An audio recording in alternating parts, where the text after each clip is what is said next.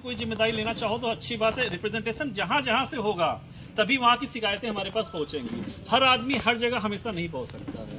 लेकिन आपकी जो किताबें हैं ना, इस जो किताब बांटी जाती है, इसका ये पर्पज होता है, इस किताब में नंबर लिखा हुआ है। कई बार यहाँ के लोग नहीं सुनते हैं। आप डिवीज़न में फ़ोन कीजिए।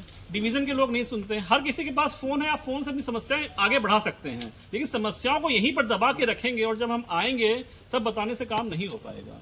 रेगुलर समस्याएँ चलती रहती है, कुछ का निपटारा होता है, कुछ आगे पेंडिंग रहती है। फिर नई समस्याएँ आती हैं, उनका निपटारा होता है पेंडिंग चलती रहती है।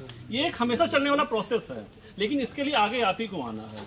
और जो आप पढ़े लिखे लोग हैं यूनियन आप अगर रेलवे का बाइलॉस पढ़ेंगे तो जो संगठन इलेक्शन में जाता है वोट लेता है, जो जो वोट लेता है उसी को रेलवे उसकी समस्याओं को सुनने के लिए एक फोरम देती है। ये फोरम एसोसिएशन को नहीं मिलता है, केवल यूनियन को मिलता है। तो आप पढ़े लिखे लोग हैं, आपको ये चीज़ें जानकारी होनी चाहिए कि 2013 में इलेक्शन हुआ था, उसमें दो यूनियन आई थी। उनको हर फोरम में सुनने के लिए बुलाया जाता है, उनकी ब्रांच से लेके सेंट्रल तक बॉडी बनती है, वो ऑफिशियली चीज़ों को रिप्रेजेंट कर सकते हैं।